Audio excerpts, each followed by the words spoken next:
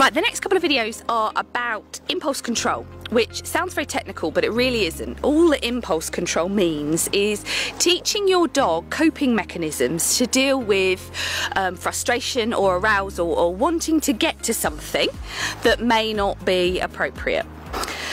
I pretty much advise impulse control activities with all of my clients so that we can teach um, some really good lead, lead skills and that we can prevent unwanted behaviours such as um, snuffling treats, running after other dogs that are chasing a ball. The implications are really endless and it's such a simple activity. This first impulse control exercise involves a handful of treats and you are going to sit or kneel down so that the handful of treats is at your dog's nose height. Now, key thing here is to not wave your hands around, keep them nice and steady because otherwise you're going to encourage your dog to follow your hand and try to snatch the treats. I'm not going to use any verbal commands here, so this isn't a leave it or a ah ah. This is simply training your dog a default behaviour around food so that when they see something that they would like to eat, they are more likely to look at you than simply go ahead and snatch it. So as you can see here, I am just waiting for some kind of um, calm behaviour. No more mugging, no more scratching or trying to nuzzle the food out of my hand. And as soon as the dog offers me that and backs away from my hand, I reach over with my other hand and feed them a treat. So once we've done that a few times, we can start to up the criteria slightly.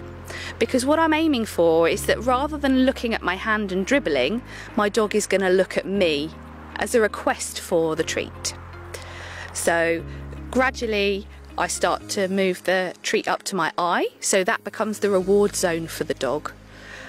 And in a very short session, you will get to the stage where your dog is looking at you rather than your hand to earn the treat. The next steps of this are that you can start to open your hand up. So every time your dog then reverts back to mugging, if they do, you just close your hand simply, no verbal cues. And you can then move on to having a pile of food on the floor with your hand over it as a dome and uncovering it and covering it as you need to. Really, only the words I'm using in this exercise is good dog to tell them that they've completed the task and they've done the right thing and they've earned their food and I would like them to do that again for me please. This food exercise has so many implications. Don't just think about it as food because it could actually save your dog's life. If you're taking a tablet or you drop something that's quite dangerous for them and they are likely to just jump straight ahead and eat it, then having some previous training around impulse control like this could be really, really important and help save any future vet trips. This exercise is particularly useful for dogs that like to chase. So I'm going to start off by holding on to my dog's lead and preventing them from chasing the ball. Now this is going to be tricky for a dog that has been used to chasing balls before, so make sure that you steady yourself and use someone else as an anchor if you need to.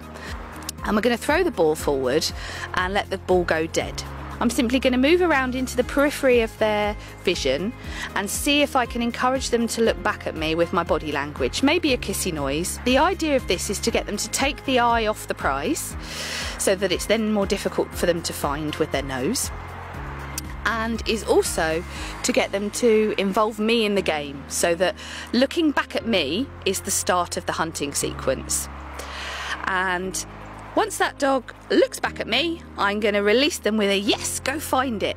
And I'll let them off to go and get the ball. They'll be using their sense of smell rather than their vision. It means that they'll be thinking about their body movements a lot better, so you're less likely to have any physical injuries.